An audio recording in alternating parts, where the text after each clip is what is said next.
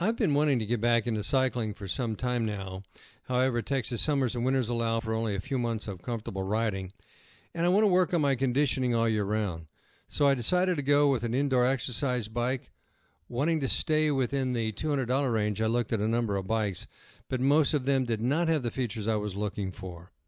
Owning a number of Titan Fitness products, I decided to take a look at their Pro Indoor Cycling Exercise Bike and found that it had everything I wanted, and it was on sale for $198 at the time with free shipping. The flywheel is 40 pounds, and the entire bike weighs in at uh, 100 pounds. I weigh 220 pounds, and I find this bike to be very stable. It does come with a small computer slash LED monitor, which I like, and we're going to take a closer look at later on. And I found this bike very easy to adjust so that it fits me perfectly. So let's take a close up look at this bike. Having a comfortable saddle and good seating position is critical to having a good riding experience. The Titan Pro comes with a very comfortable saddle. I've uh, owned a number of bikes in the past with different saddles, and this is probably one of the more comfortable saddles that I've used. It's very easy to adjust, and uh, we're going to take a look underneath the mechanism for attaching it to the bike is standard. So if you have another saddle that you like better, you can certainly use it here. And there's good knurling to attach it to. It's also very adjustable and has a wide range of front to back adjustment, which is very important. So you reach the uh, handlebars easily. And very simple knob pops in and out to uh, adjust that setting. And of course, everybody has different length legs, so adjusting the saddle up and down is very easy to do. Once you set this in position and tighten it down, you'll find it to be a very, very stable seating assembly. Another important aspect of having a good fit on your bike is uh, being able to adjust the handlebars to a position that works for you. And this is very easy to adjust just as we saw on the um, seating assembly in the back. And I was able to adjust this perfectly to my saddle height and for me.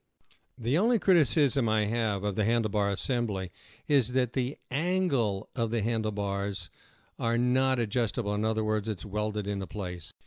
It is certainly usable at this angle, but there are times I wouldn't mind uh, being able to tilt it up towards me a little bit while riding. Most of the time when we look at bikes, we really don't pay much attention to uh, pedals, but they're very important to our riding experience. These pedals do come with straps. I have a very wide foot. It's a 4E size 12, and uh, these straps adjust just fine for me. But I tend not to use the straps at all. I'll just use the other side of the pedal, and I think at some point I'll probably remove these straps. And all it takes is uh, those two screws or bolts right there. The pedal itself is designed with a very aggressive grip. So this will keep your shoes on the pedals no matter what kind of shoe you're wearing. And it'll keep your foot in place even in the more aggressive uh, pedaling sessions you might do. The tension control system on this bike is a very simple mechanism, so let's take a closer look at it. There's the tension control knob and, of course, the brake.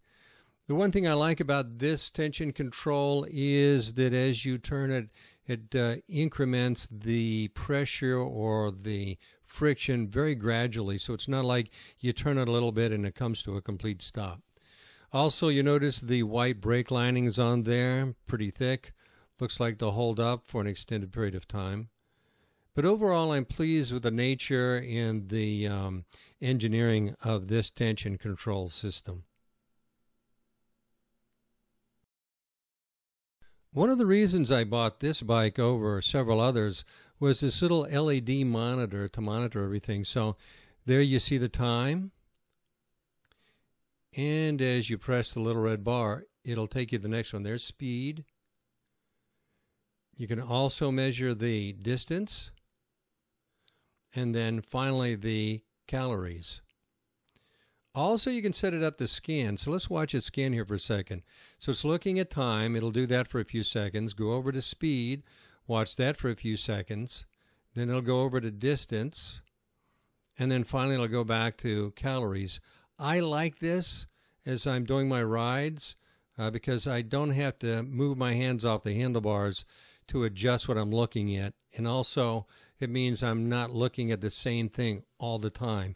You can either allow your sessions to accumulate all together, or you can reset at certain points just by holding down that little red bar till it actually resets. But I really like this little LED monitor. If you have hardwood floors or laminate floors, knowing the type of uh, feet that are on this bike are going to be important to you.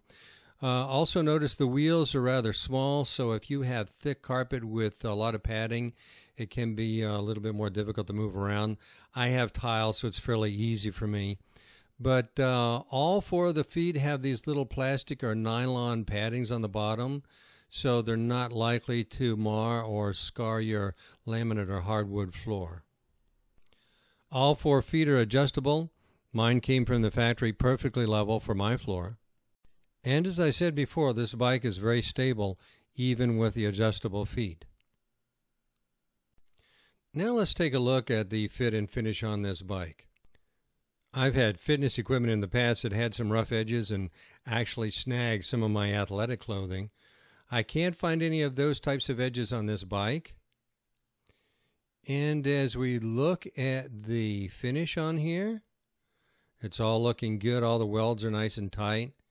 The paint is consistent across the entire assembly. Again, looking at some of the welds. Good consistency in the paint. Again, looking at the welds. So overall, looking at this bike, I'm seeing a quality build. I'm not seeing any manufacturing marks or uh, scars or mars, and it certainly arrived without any difficulty uh, from uh, Titan Fitness. The only criticism I have of fit and finish is the bottle holder. I could not drive those screws in far enough to make this stable. So it looks like something that they uh, overlooked or took a shortcut on uh, at the factory.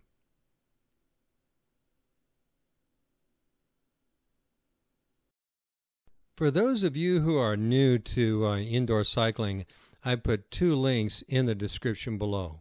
The first one is for a YouTube video that describes how to set your bike up correctly, and it does have a short indoor exercise video to go along with it. The second link is to another YouTube video for an outdoor cycling experience that you can run on your television or your handheld or your tablet and watch while you're cycling indoors. Well, I hope you found this video useful. If you did, please press like and share with your friends. If you're not already a subscriber, I would love to have you as a subscriber. And as always, good luck with your fitness.